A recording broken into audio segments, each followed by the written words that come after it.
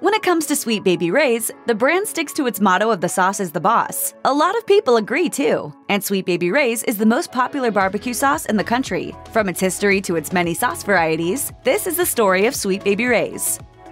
It all started with Larry Raymond, a young Chicago restaurateur who just happened to have a family recipe for sweet and tangy barbecue sauce. He started tinkering with it around 1982, and he had properly adjusted the recipe enough by 1985 that he decided to enter it into a local barbecue competition called the Mike Royko Rib Off. At the time, the competition was the largest rib cook-off in the country, and it was a big deal. It was started by a popular Chicago columnist named Mike Royko, and in the first year of the competition in 1982, the winner out of 400 participants was Charlie Robinson Robinson. Robinson would go on to start a beloved barbecue chain of his own and sell a branded sauce within a year of winning. When Raymond entered, he landed in second place out of 700 contestants. A second place finish was more than enough. Success came fast. Sweet Baby Ray's barbecue sauce was incorporated by Larry, his brother Dave, and a childhood friend named Mike O'Brien a year after coming in second place.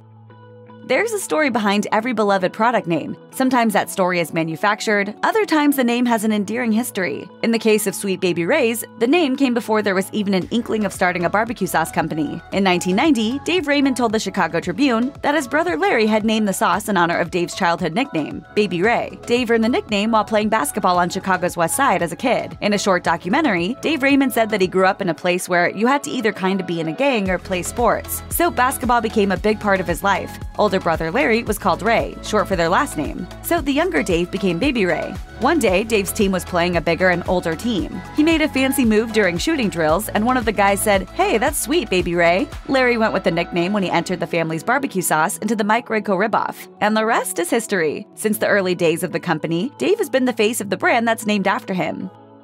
The brand has come a long way since that first family recipe that the Raymond brothers entered in the barbecue riboff. Sweet Baby Ray's now has two lines of sauces, one for wings and one for barbecue. Many of the newer sauces appear to draw inspiration from all over the world. There's the Jamaican jerk wing sauce, for example, and the Korean barbecue and wing sauce. The brand offers the classics as well, like Nashville hot sauce and honey barbecue sauce. In addition to barbecue sauces, Sweet Baby Ray's lends its name to a honey mustard, a hickory and brown sugar, and a creamy buffalo dipping sauce. A teriyaki sauce is also in the lineup. Then there's Ray's Secret Sauce, made with a horseradish base to go along with the original secret recipe of Sweet Baby Ray's barbecue sauce. Despite all the options, there's a clear favorite for the brand Original. The product description reads While we love every member of our family of sauces equally, the sweet, award winning taste of SBR Original will always have a special place in our hearts and refrigerators.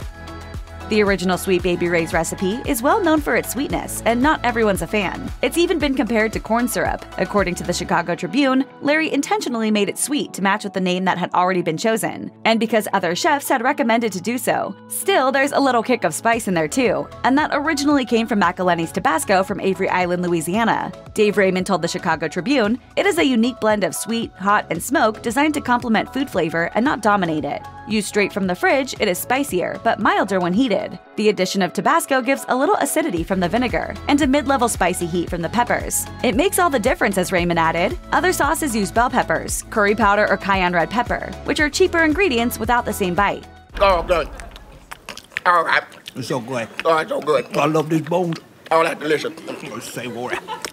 Sweet Baby Ray's quickly grew from its early days of selling barbecue sauce locally around the Chicago area, and that attracted another company to buy the brand for $30 million in 2005. Deuce Raymond, Larry's son, told the Chicago blog in 2019 that the buyout was the result of a success that started from the bottom. He clearly still keeps up with his father and uncle's business, adding that Sweet Baby Ray's is the best selling barbecue sauce in retail history, and they sell more than the next seven sauces combined. The buyer, Ken's Foods, is a Massachusetts based company that is best known for salad dressings. It was a win win for anyone who wants easy access to Sweet Baby Ray's no matter where they live in the US, as Ken's Foods has longevity. It started in 1958 and reach.